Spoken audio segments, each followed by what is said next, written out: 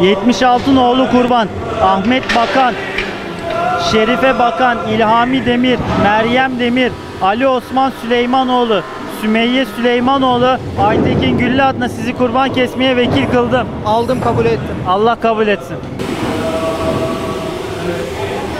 Allahu Ekber.